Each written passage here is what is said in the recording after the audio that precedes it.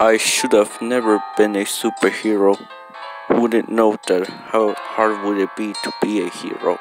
I thought it would be easy. Don't know, it turns out to be hard. I hate it, and so much that I quit being one. I put my life into too much risk. I shouldn't be like that. I shouldn't even let them do a risk to me. A risk. They always keep on doing this to me. Like, really? What's their supervillains? Ha. Wish they wouldn't existed. The better thing to do them rather than to do with them is to finish their lives. For what are they with lives anyways? They always keep on coming with more bad plans and always and never stop being bad at least for once in their lives.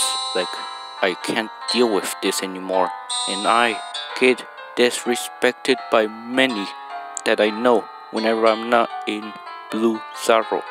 I'm always in a you know guy. Though now I feel like a dumb one.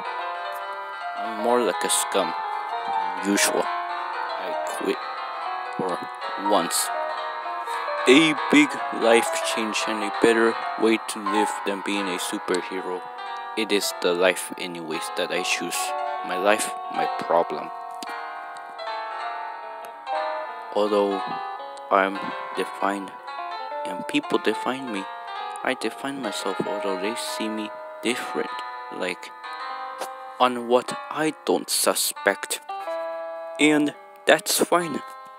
Some or most all super supervillains have love, and I might not know that.